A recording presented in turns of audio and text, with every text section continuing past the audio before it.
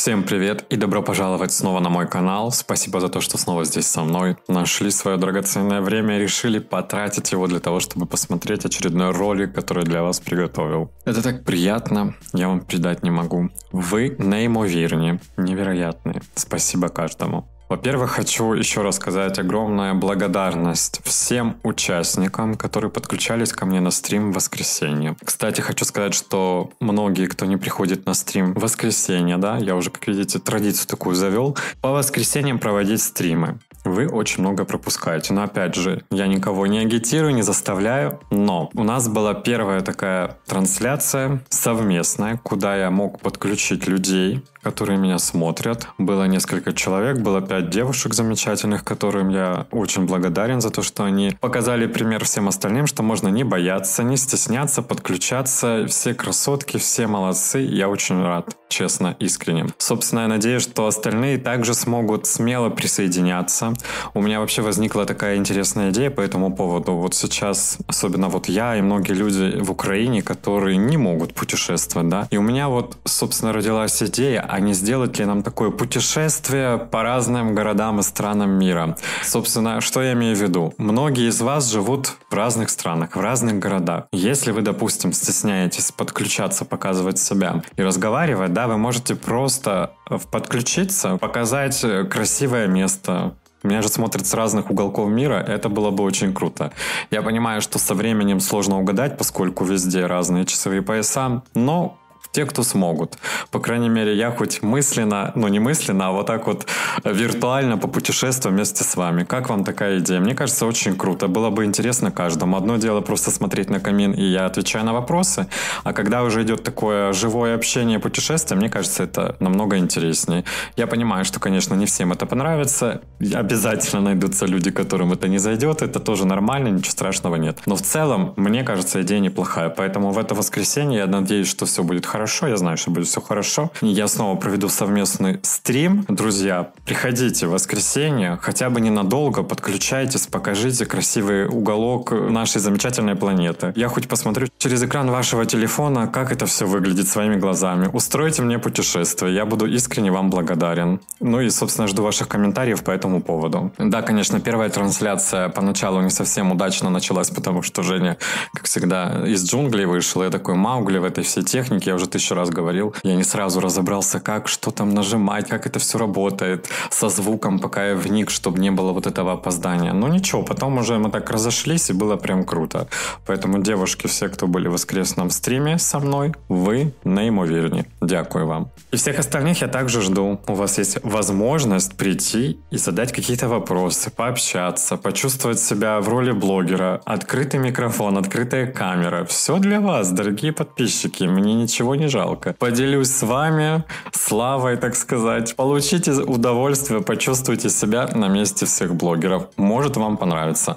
В любом случае, мне кажется, милые душевные беседы из жизни обычных простых людей намного интереснее, чем вот эти все звезды, от которых местами уже подташнивает. Но то такое. Сейчас вот сижу, записываю ролик, закончу и побегу. Знаете куда? М-м, у меня сегодня коронация. Помните, да? Да, сегодня настал тот самый день, когда меня коронуют. Надеюсь, что сильно меня долго пытать не будут. Об этом я уже расскажу завтра, как это все произойдет. Но я надеюсь, что все будет хорошо. Мне главное, чтобы это было недолго, вот честно. Что еще сказать? А, хозяйка приходила за деньгами. Я отдал деньги, еще раз спросил, уточнил момент касательно вот этого объявления непонятного. Но она мне, собственно, подтвердила все то, что я и предполагал. Она говорит, не, не переживайте, я вообще смысл мне, типа, какая причина мне вас выселить? Стрелять, ради чего?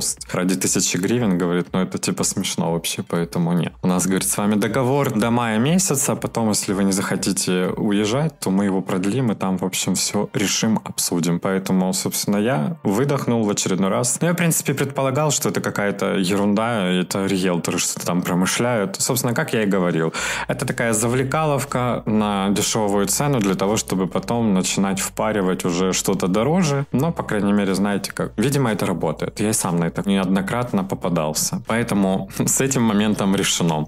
Со стримом закончил, с квартирой пока что рассчитался. Слушайте, я тут, кстати, перед тем, как приходила хозяйка, как всегда, марафет наводил, Золушку включил режим на максимум. Я так мыл пол, я не знаю, как я этот пол натирал, но у меня в итоге такой мозоль на пальце. Сейчас многие напишут, о, так ты белоручка, наверное, швабру там берешь раз в три года. Нет, на самом деле, я регулярно пылесошу и мою, я не могу понять, почему я себе такой мозоль на пальце натер от этой швабры. Вот это было, конечно, для меня неожиданно, но это такое, как говорится, до свадьбы доживет, все нормально будет. А еще по поводу погоды. Я сегодня ничего не говорил, потому что вроде как потеплело, и какая-то вот эта серость вернулась. Ай, не люблю я. Но ничего, мы будем вместо солнца заряжать друг друга энергией, дарить лучи света, и все будет супер. Что еще хотел сказать? А, я же еще хотел вам рассказать, знаете что? Я же вот это на выходных вышел в люди ненадолго, и мы зашли в одно заведение, в общем, сидели там. А я же, как всегда, вот это сижу, наблюдаю, мне не нужно что-то рассказать. И как назло особо не за что и зацепиться. Ну, я так, знаете, уже отвлекся, думал, ладно, бог его. Бог с ним. И дальше себе сижу, вникаю, ну, там сидели, общались, разговаривали. И тут в какой-то момент зашла одна пара, которая сразу мне бросилась в глаза. Объясню сейчас почему. Вот я просто мысленно себя представил на месте того мужика, который вот был со своей девушкой. Я вам так скажу. Картина лично меня не очень порадовала. Почему? Потому что, ну, я не знаю, ему, наверное, 45-47, вот так где-то в таком диапазоне. А ей я надеюсь, что хотя бы 18 есть. Ну, прям вообще вот это детское личико. Я вообще подумал сначала, что это папа с дочерью пришел. Но потом, судя по, по тому, как он ее обхаживает, я понял, что это не дочь вовсе. Я понимаю, что любви все возрасты покорны, разница. Я, в принципе, с пониманием к этому отношусь. И я никого не осуждаю. Если у людей там какая-то любовь, а в этом случае обязательно любовь, там по-любому все по любви, это сто процентов. Здесь мы это все берем в скобочки, но вы поняли, да, о чем? Ну, понятно, что богатый дядя дядька нашел себе молодую девочку. Я искренне надеюсь, что ей хотя бы 18, потому что вот выглядела она где-то лет так на 16-17. Ну, короче, картина со стороны, конечно, вообще не очень. Лично для меня. Почему? Потому что вот меня это на что-то, на какие-то дурные мысли. Ну, вот знаете, как будто вот этот, ну, как они называются, не могу произнести это слово здесь. На букву П, да, и на букву И заканчивается. Пи, до, и, ну, вы поняли, да? Те самые, которые любят очень детей. Вот примерно у меня такая картинка сложилась. Да, я понимаю, что там уже как бы не ребенок, но все равно, вот честно. Ну, как-то мне было неприятно с такой парой наблюдать. Но я, если честно, и не планировал, просто они зашли, и они такие яркие были в том плане, что такой контраст между ними был. И это явно бросалось в глаза. Опять же, хочу подчеркнуть, я никого не осуждаю. Я понимаю, что многие хотят как-то выжить, удачно там выйти замуж, понятное дело, кто-то по любви, кто кто-то ради какой-то корысти, это не мое дело, как хотите, так живите. Эти. Это чисто мои наблюдения, то, как я это увидел. Я, в принципе, как бы нормально отношусь, да, вот, допустим, Мадонна, там, ее бойфренд, которому там 27. Но здесь я как-то по-другому на это смотрю. Хотя другие сейчас тоже напишут, ну, в смысле, бабка с внуком, да, как многие писали. Но может и бабка с внуком. Но вот когда я вижу там, образно говоря, Мадонну с молодым парнем, опять же, не 18-летним, ему там 25 или 26, это уже немножко другая реакция у меня. А тут прям, я вот серьезно, я смотрел на эту девочку, мне прям хотелось подойти и спросить, тебе вообще есть 18, нет? Ну, в общем, такое. Или вот, допустим, Винсан Кассель, да, со своей молодой девушкой. Они тоже по-другому смотрятся. Вот ты смотришь на них, и как-то все это гармонично. Здесь вот я увидел какого-то конкретного дядьку, который себе, как сказать, так, ну ладно, буду циником, купил себе любовь в виде молодой этой, скорее всего, несовершеннолетней девушки. Девочки, девушки, не знаю, как правильно назвать. Вот так вот, друзья. Мне это не понравилось понравилось. Я так и на минуту представил, а вот если меня там, знаете, под полтинник унесет, и я так захочу тоже. Я вот увидел эту картину со стороны и понял, что не, не, как там говорят, сейчас это кринж полный, зачем? Не надеюсь, что со мной такого не произойдет. Я понимаю, что от любви крыша может съехать, и ты не всегда можешь контролировать себя, и хочешь просто вот э, плевать на все и идти, но не знаю, мне кажется, что в нашем возрасте, в нашем это в каком, сейчас я сказал, да? Может, тут меня совсем не... Ой, опять я что-то не то несу. Ну, короче, Короче, мне кажется, что взрослые люди, они должны немножко иногда думать, наверное, да? Ну или не должны. Я знаю, что слово «должны» никто не любит, но мне так казалось, что обычно взрослые люди обдумывают какие-то свои поступки, но не всегда. В любом случае, если им хорошо, совет да любовь, пусть будут счастливы. Но я эту картину, наверное, не случайно увидел, честно. Я, наверное, все-таки понимаю, что нет. Ну вот такие молодые, это точно вообще не мой вариант, потому что не, не из-за того, что я там буду как-то на фоне их смотреться в виде папы, а потому что вот, ну как-то это не так, что ли. Это не для меня, вот так я это скажу. Вот такое было у меня сегодня вступление. Жду ваших комментариев по поводу стрима, друзья. Давайте все-таки более активно к этому подходить. И я знаю, что вы меня смотрите из разных городов и стран. Я буду вам искренне благодарен, если вы примете мою инициативу по поводу виртуального путешествия. Пусть там ненадолго, вы там на минутку, на две подключитесь, там, не знаю, из серии покажете Эйфелевую башню, и уже будет хорошо, понимаете? Мы, может, я ее не видел в жизни, допустим, кто-то тоже. А тут в прямом эфире мы будем это все наблюдать. Это интересно будет. Поэтому, друзья, на воскресенье подготовьтесь и будьте чуть смелее. Ну и просто поговорим, пообщаемся общаться мило, душевно. А всем тем, кому не очень зашло, я вам все-таки предлагаю не сильно не горячиться, а просто подключиться, и вы увидите, что все на самом деле будет очень круто, и вам понравится. Все, друзья. Напоминаю, что здесь есть тайм-коды, поэтому пользуйтесь они вам в помощь, если вдруг вы не хотите слушать мою болтовню в самом начале. Но, предупреждаю, когда вы ее не слушаете, вы пропускаете самое-самое интересное. Всех именинников и именинниц я поздравляю с днем рождения. Будьте счастливы, пусть у вас все будет замечательно. Искренне от души. Тут не просто слово, пусть вот в это замечательно придет все то, что вам необходимо на сегодняшний день и на завтрашний, и на все последующие. Будьте здоровы, будьте счастливы. Всем желаю желаю приятного просмотра. Прямо сейчас можете ставить палец вверх, лайк, сердечко. И, конечно, подписку оформите, если вы еще не подписаны на этот канал. А все, кто уже это сделал, большое вам спасибо. А теперь врываемся в новости. Погнали!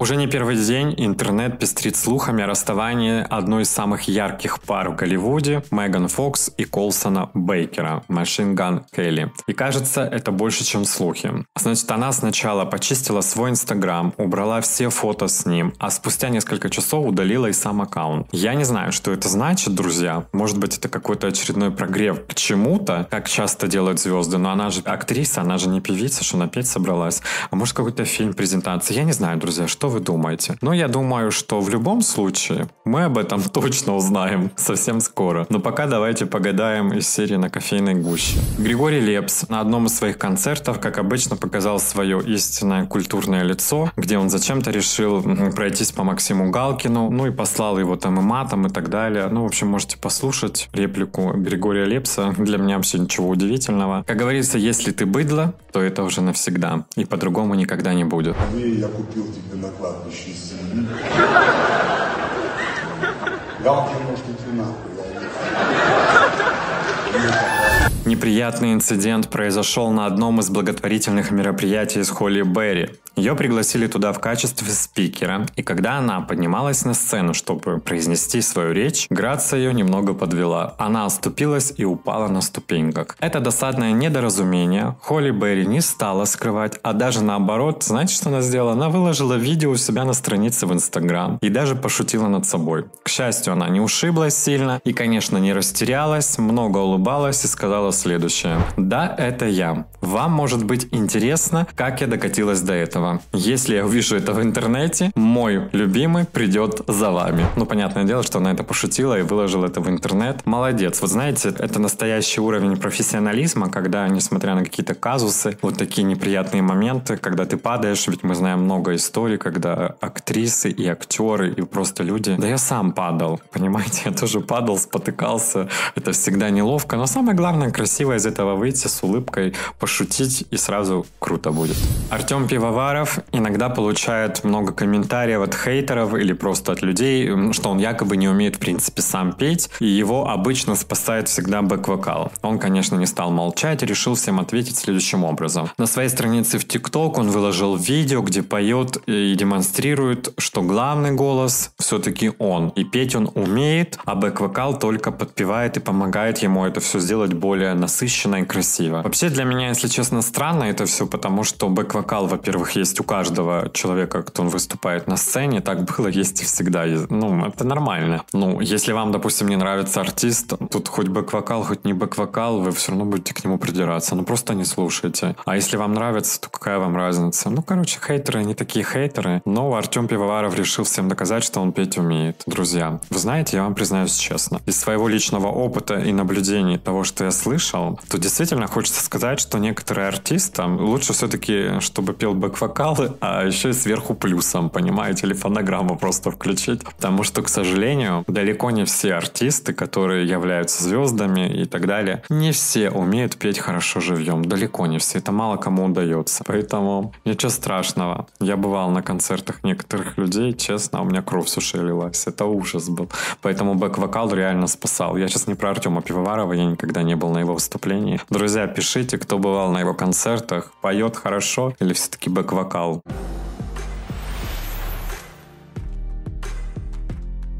Мухаммад Расулов, получивший главную награду Берлинского кинофестиваля за фильм «Зла не существует», вышел на свободу. Это режиссер. Его осудили за критику иранского правительства. Его временно выпустили из тюрьмы. Он попал в заключение 8 июля после публикации обращения, призывающего силы безопасности Ирана прекратить применение оружия во время майских протестов, которые были вызваны обрушением здания на юго-западном городе Абадан. 11 февраля он был на время время освобожден по состоянию здоровья и теперь находится дома. И вот как говорит его адвокат. Заключение моего клиента под стражу было приостановлено на две недели по состоянию здоровья. Также ранее из тюрьмы после объявления голодовки был освобожден другой иранский режиссер и друг Мухаммада Джафар Панахи. Он был заключен под стражу за участие в митинге в поддержку своего друга. Вот вам, собственно, как это все работает. Для меня это дикость, это ужас, и я этого не понимаю. То есть э, свобода в кавычках слова прям бьет ключом. Это ужасно, друзья. Вот честно, если вы живете вдруг в стране, где такое происходит, то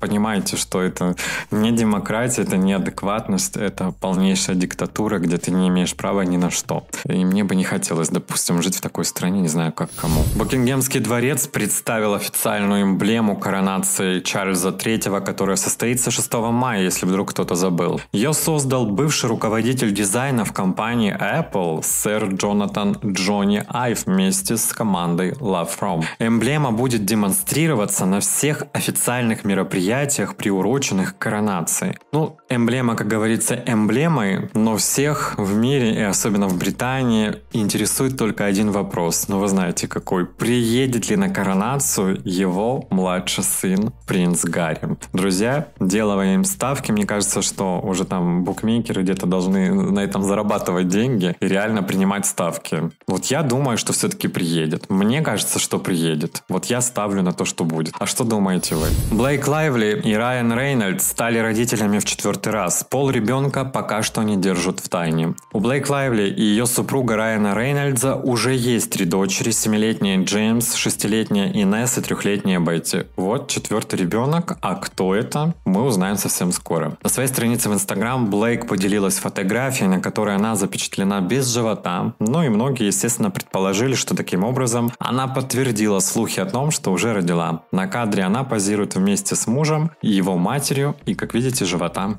нет. Так, появилась информация о том, что Юрий Дудь продал свой дом в Новой Москве за 42 миллиона. Также по информации издания Маш, он продал машину и выписался из отцовской квартиры, которая предположительно принадлежит Минобороны. Вот таким вот образом. Ну, сейчас об этом все пишут. Но это, в принципе, не удивительно, с учетом того, что Юрий Дудь по понятным причинам в Россию не вернется до тех пор, пока там не сменится власть, как и все остальные иноагенты, а их там с каждым днем все больше и больше.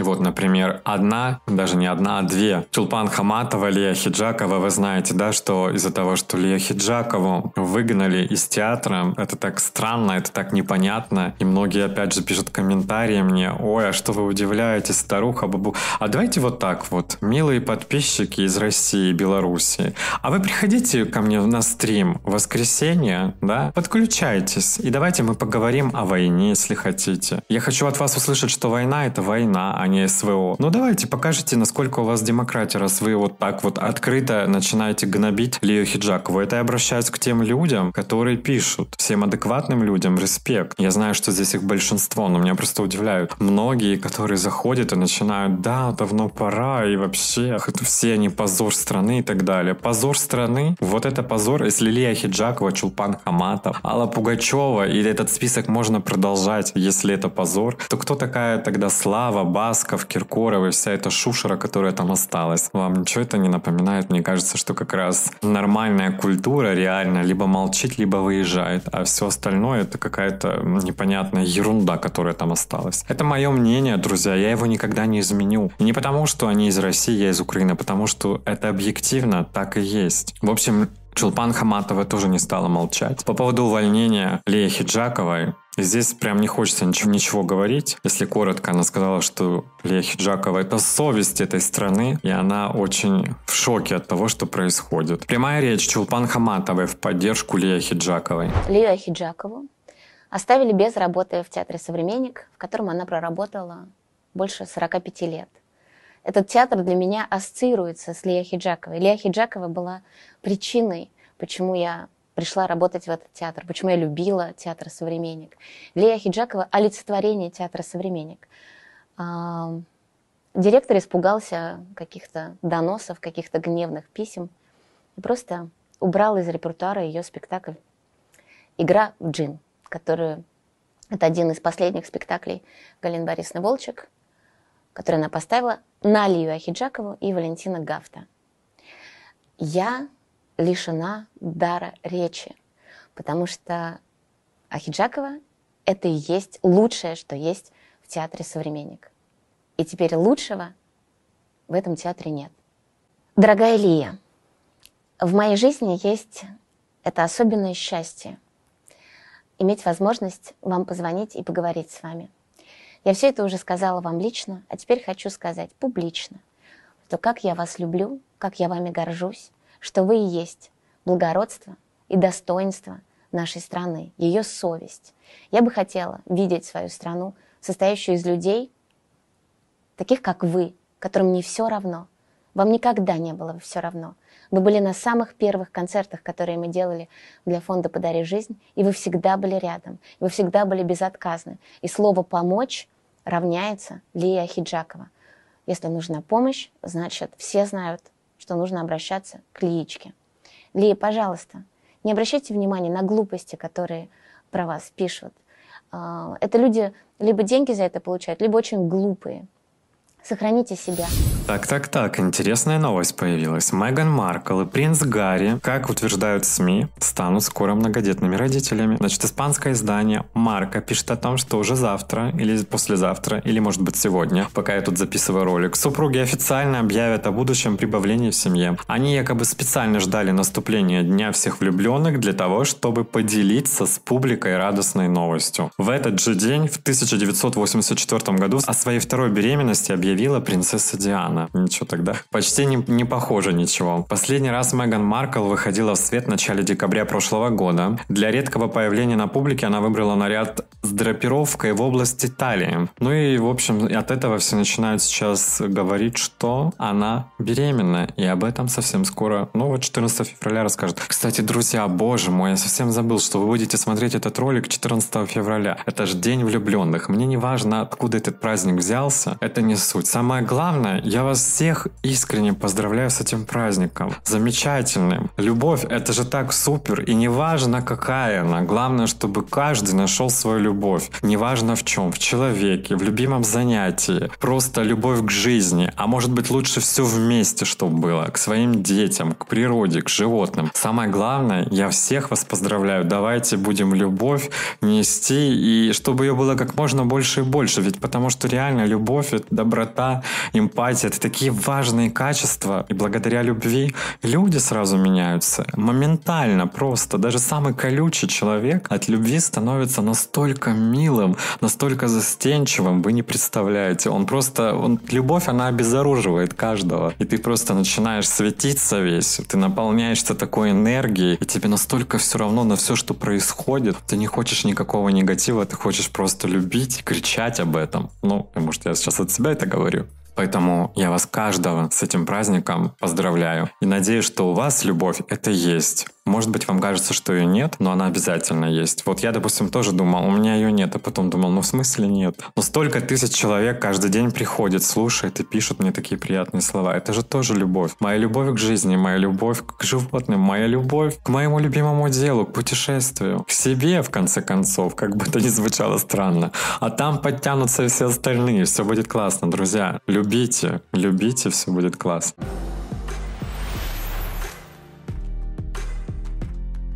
Так, в СМИ попали слухи о расставании Надежды Бабкиной с Евгением Гором. Он, по слухам, выразил принципиальную позицию еще несколько месяцев назад и уехал из России. Вообще, как вы поняли, да? Надежда Бабкина, собственно, отрабатывает свои гонорары. А вот как пишут СМИ, опять же, насколько это правда, я не знаю. Я так понял, уже бывший. Евгений Гор уехал из России. Якобы он не стал привлекать внимание к своему отъезду, чтобы не потерять бизнес, связанный со свечным производством. Бабкина, как видите, уже его не ждет. Недавно появилось фото вот с этим человеком, не знаю, кто это. Ну, я так понял, она намекает на что-то, нашла себе нового парня, ну, неважно. В общем, в семье Надежды Бабкиной произошел разлад, как и во многих. Вокруг недавнего концерта Николая Носкова разгорелся небольшой скандал или большой, значит, зрители остались вообще недовольны его выступлением. Якобы он исполнил всего пару песен, а потом отказался петь. Он выглядел абсолютно потерянным и не мог понять, где он находится. Известно, что некоторые стали требовать от организаторов концерта свои деньги обратно, а те в ответ сняли с себя всю ответственность за сорванное выступление. Они напомнили, что Николай Носков несколько лет назад перенес тяжелый инсульт, после которого он так до конца и не восстановился. Как утверждается, на состояние певца в день концерта дополнительно сказался тяжелый перелет. Народ недовольны. Ну а супруга Николая Носкова не стала отвечать на претензии тех, кто остался недоволен. Написала вот, что сейчас все нормально, я не буду комментировать за него, это очень не тактично. Сейчас все в порядке, не волнуйтесь, все хорошо. У нас концерт сегодня в Тюмени. Кстати, вот я хочу вас спросить, а считаете ли вы правильным вот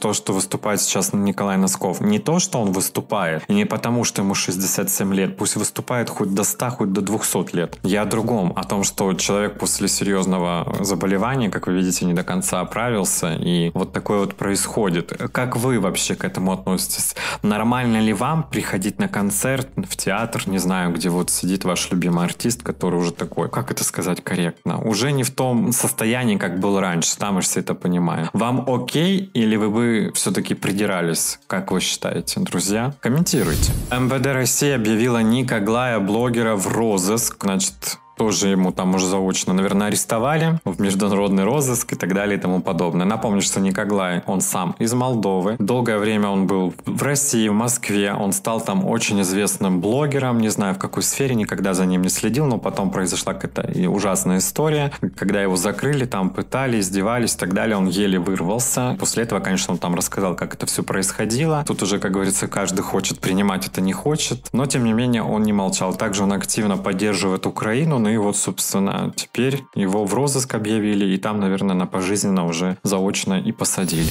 Фильм «Титаник» после перезапуска снова стал третьим самым кассовым фильмом в истории, обогнав вторую часть «Аватара». Представляете? У меня такое ощущение, что Джеймс Кэмерон конкурирует сам с собой, потому что только «Титаник» один, «Титаник» вот новый, а две части «Аватара», и все они в топ-5, понимаете? Вот это вот Джеймс Кэмерон. Называются, выпускает там раз в 10 лет фильмы. Ну как удачно. Ну классный, молодец он, конечно. А кто, кстати, смотрел перезапуск «Титаника», друзья? Делитесь, я не видел.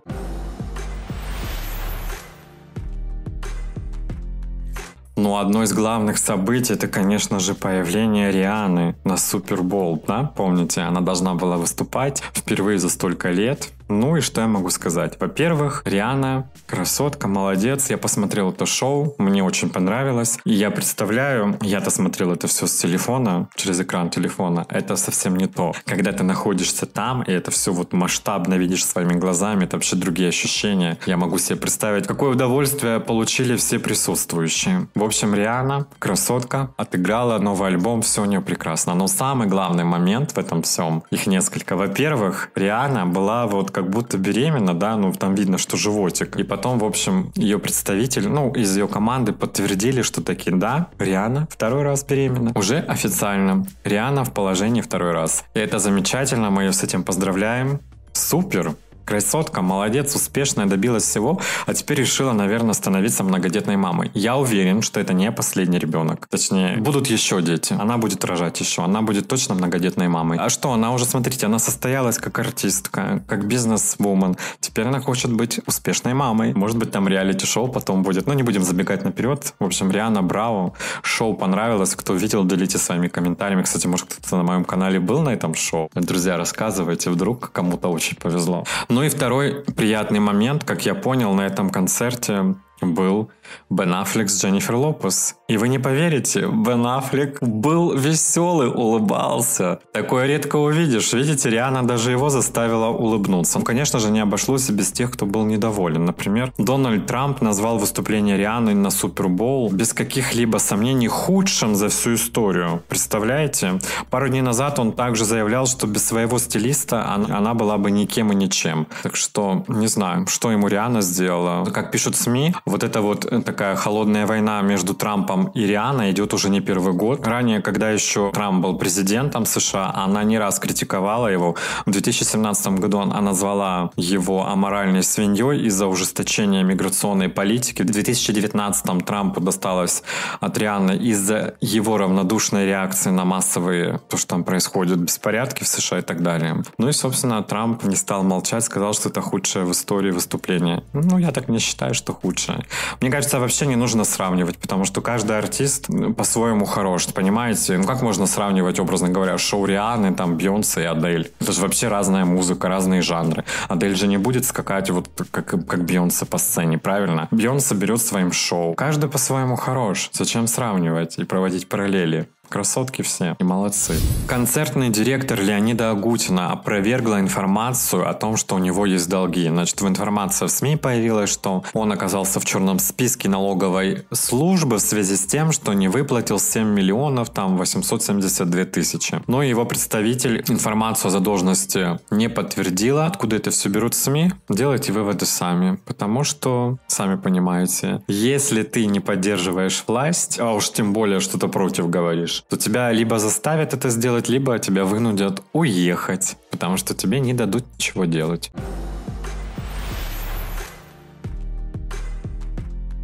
Так, интересная новость появилась. Меня прямо она за душу взяла. Без регулярного секса люди становятся глупее. Об этом говорят ученые. Исследователи из США выяснили, что люди, которые практикуют регулярный секс, показывают лучшие результаты в тестах на вербальные и пространственные навыки, ну и так далее и тому подобное. И тут я прям вот не, не соглашусь с ними, честно. Вообще не соглашусь. То есть, получается, исходя из них, я вообще такой-то тупорылый, да? Получается так, потому что меня не то, что регулярного, но вы поняли. Не будем вдаваться в подробности. Но, глядя на своих знакомых, которые просто не вылазят со всяких вот этих групповых занятий, вы поняли, да, о чем я? Слушайте, я даже когда-то вот прям в лицо говорю, а вы вообще считаете себя умными людьми? Они говорят, нет. И так улыбаются, но они понимают все про себя, потому что там запрещенка, и единственная цель в жизни это пойти куда-то присунуть еще раз. И что вы хотите сказать, что они умнее меня? Ну, это бред какой-то. Ученые из США какую-то ерунду говорят. Может, они как-то не так это все все трактовали, но мне кажется, нет. Причем тут ум и секс. То, что это как-то тебя, может быть, делает здоровым, да, то, что ты чувствуешь себя намного приятнее, да, но причем тут ум вообще? Многие вообще занимаются сексом, не думая. А вот, собственно, еще одна интересная история, это из серии то, что я сегодня рассказывал в приветствии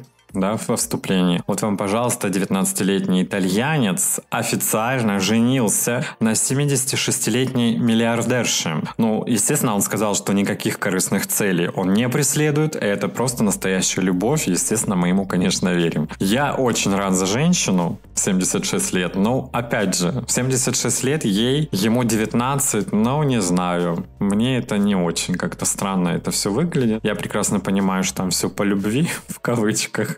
Но не мое дело, просто к слову о том, что я сегодня в самом начале говорил. Ну а за женщину порадуемся, конечно. Кстати, по поводу Ларисы Гузеевой. Помните, я недавно говорил о том, что мне сказали информацию о том, что Гузееву заметили в МВД Израиля, и, собственно, мне объяснили и дали понять, что она пришла туда с документами разбираться. И там стали писать, боже, у нее, ей это не нужно. И вообще в МВД этим не занимаются. И вот мне опять подтвердили и сказали, что на самом-то деле как раз-то занимается. И они действительно подают документы на то, чтобы получить гражданство Израиля, но не через Гузееву, а через ее мужа. Потому что именно у ее мужа есть корни, ну там, неважно как по какому колену и через какое, это уже не имеет значения то есть еврейские корни есть. И, собственно, через мужа вот они будут получать. Кто-то даже написал, что у них уже есть этот паспорт э, гражданства Израиля с 2013 года, но это неправда. Оно у них только будет. Поэтому, собственно, друзья, это правдивая информация, это никакие не сказки. Кузеева поехала в Израиль с мужем не отдыхать и наслаждаться землей, да, священной, как она сказала, и солнышком. Она туда поехала решать вопросы с гражданством. В Индии предложили переименовать День Святого Валентина в День обнимания коров. Из-за этого в интернете появилось множество мемов на эту тему, а в эфире ведущего англоязычного канала Индии попытались показать, как можно обнять корову. Ну, у них там корова священное животное, священное, да, насколько я знаю, поэтому пусть будет. Детский омбудсмен Татарстана назвал Басту, певицу Максим, Егора Крида пособниками сатанизма и собрался писать жалобу в компетентные органы. По его мнению, наставники шоу «Голос дети» на Первом канале сомнительной сексуальной ориентации, вокальных данных, с жуткими наколками, мужчины с накрашенными ногтями, уж точно не совсем не детский репертуар. В Бразилии юрист, выступающий за свободное ношение оружия, знаете от чего погиб? От случайного выстрела из собственного оружия. Вот вам, друзья, как на это все реагировать. Называется «За что боролся, от того же самого ушел мир иной». И я не радуюсь ни в коем случае. Это просто ужасно, сама история. Я против этого против вообще, я вообще против оружия. И вот, кстати, еще буквально пару слов про Лео Хиджакову, там же многие стали писать, я говорил, что и Собчак тоже там заступилась.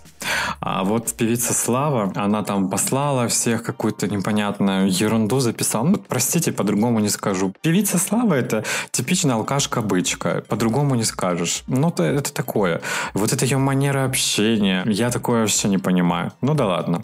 Короче, она там начала на Собчак наезжать. Ну, вы же знаете, Собчак Она же за словом в карман не полезет. Она после всех этих публичных оскорблений от Славы позвала ее на интервью в стиле Оскара Кучера и сказала, а может ты придешь ко мне в лицо все скажешь? Приходи, поговорим с тобой. Это было бы очень интересно, только я прекрасно понимаю, что Слава не пойдет. Столько алкоголя выпито. Куда идти к Собчак? Это уже... Вот вам разница, да? Две пьющие женщины, Волочкова и Слава. Вот Волочкова не вызывает такого. Да, она там уже, как говорится, пошла не по той степи. Это ужасно. Но контраст, да, между одной и другой. Та какая-то вся быковатая, какая-то вся агрессивная.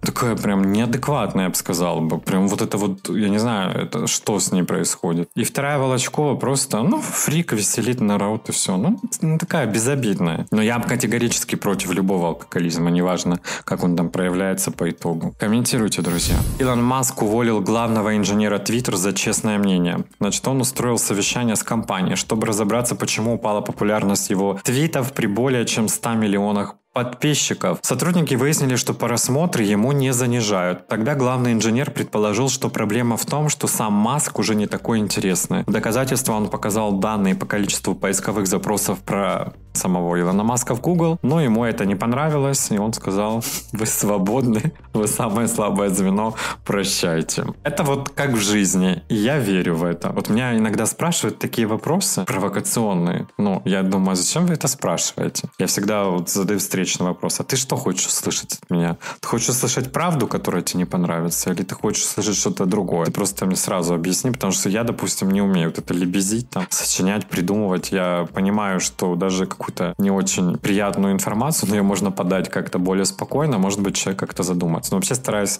на такие вопросы не отвечать и просто говорю, что вопрос провокации, отстаньте от меня. И вот тоже, да, спросил, почему тебе сказали честно. Ну, по факту, да. Сейчас как бы не до тебя, Илон Маск, с твоими Теслами и со всем остальным. Есть более важные проблемы, и у людей столько горя сейчас происходит, а его, видите, это задело, обидело, он быстренько уволил. Так это все и происходит. Скажите ваше честное мнение, и мы вас сразу иноагентом закопаем, уволим. Вот так это все работает. Откуда мы делаем вывод? Я уже его давно сделал, что за честность ты всегда будешь огребать. Всегда. Нужно просто, как это говорят, принимать правила, какие бы они ни были ужасные, и просто подпевать. И не пытаться вот это идти против течения, против всех, и со своей честностью там нигде не размахивать, а то потом огребешь по полной программе. Я это уже сам тоже неоднократно проходил. Но я не могу по-другому, честно. Один из космических телескопов НАСА обнаружил в звездной системе уже вторую планету размером с Землю, на которой потенциально может быть вода и даже, возможно, жизнь жизнь. Это уникальное событие, поскольку большинство исследовательных звездных систем вообще не имеют даже потенциально подходящих под земные стандарты планет. И вот тут, друзья, думайте сами, что нас ждет. Скоро будем перемещаться на другую планету или что, или они там хотят переехать, ладно. На этом новости из мира шоу-бизнеса не только все. Но у нас с вами, как всегда, есть замечательная, прекрасная рубрика хороших, добрых новостей. И сегодня обязательно она будет. Но перед тем, как мы к ней перейдем, не забудьте, пожалуйста, убедиться, что вы поставили палец вверх, лайк, сердечко. Это все одно и то же. Как вам больше нравится, так и реагируйте. И что вы, конечно, подписались на этот канал. Большое спасибо каждому из вас за вашу поддержку в виде просмотров, лайков, подписки на спонсорство. За все вам большое спасибо каждому. Вы наимовірні, я вам не устану это повторять от души, честно. Ну а теперь врываемся в рубрику «Добро».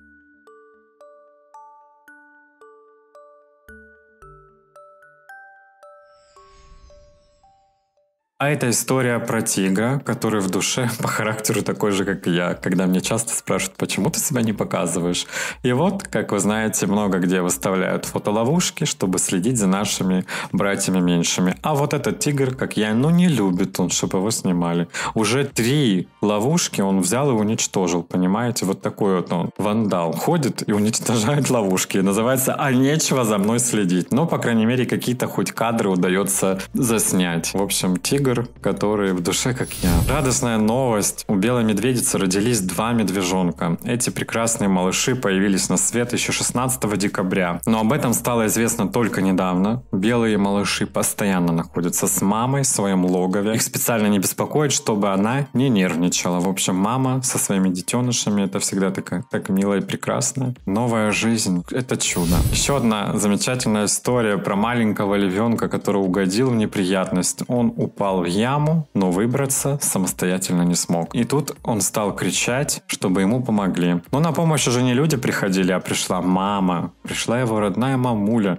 которая забрала это свое чудо и вытащила оттуда. Вот так вот. Мамы все время рядом, они всегда спасут и поддержат, правда? А эта история про еще одну невероятную дружбу. Называется «Много нежности не бывает». Кошка и пони тоже привязались к друг другу. С самого детства росли вместе. И вот вам, пожалуйста, к чему это привело. Дружба навсегда. А на этом видео вы можете увидеть, как проходит процесс кормежки слонят в заповеднике. Там осиротевших и брошенных детенышей готовят к жизни на воле. Когда слонята вырастут, часть из них присоединится к уже существующему дикому стаду, а кто-то объединится в новое семейство. Но самое главное, что люди невероятные. Понимаете, это же слоники, это же уже даже не котики, тут сложнее все. Но тем не менее, я рад, что есть такие организации, которые продолжают заниматься, э, пытаются сохранить популяцию исчезающих видов животных, рыб, млекопитающих, неважно, всех-всех-всех, которые занимаются спасением нашей планеты. Ну и напоследок вам, чтобы вы еще улыбнулись, немного юмора, милоты, такое фото дня, вся жизнь перед глазами. Посмотрите на эту лошадь, которая кушала яблочко, оно упало. Но кадры, вот знаете, вот такие кадры, они самые замечательные. Это круто. На этой прекрасной позитивной ноте я заканчиваю сегодняшний выпуск и надеюсь, что он вам понравился. Еще раз хочу сказать огромное спасибо каждому из вас за то, что вы есть. Я надеюсь, что вы рады приходить ко мне и заряжаться небольшой такой порцией позитива, который как минимум хотя бы обеспечит вам спокойную, тихую ночь, чтобы вы могли уснуть крепко, проснуться с хорошей силой, с хорошим настроением, энергией и дальше прекрасно, счастливо шагать по нашей замечательной жизни. Всех обнял, берегите себя. Мирного неба над головой. Пока-пока.